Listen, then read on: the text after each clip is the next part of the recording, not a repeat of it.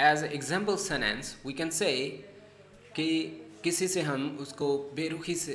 से डील करना बर्ताव करना मुँह मोड़ लेना is called the gold shoulder some example sentences to ignore someone to be unfriendly I thought we were friends मुझे लगा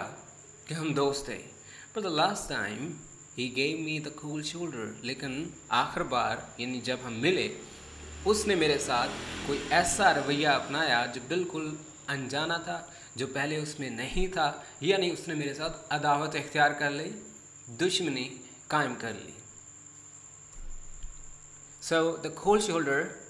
किसी से बेरुखी करना, अदावत करना, बेमुरवती दिखाना, इस कॉल द शोल्डर इसके लिए आप गिव का इस्तेमाल करिए ही गेव मी खोल शोल्डर